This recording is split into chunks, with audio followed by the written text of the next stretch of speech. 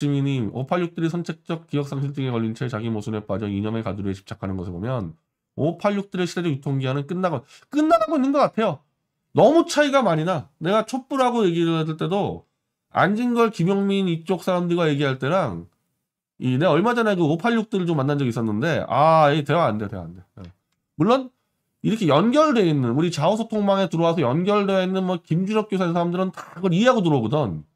촛불과 태극기가 손을 잡아야지만 윤석열이 끝장낼 수 있다는 거를 이해하고 들어온단 말이야, 이 사람들은.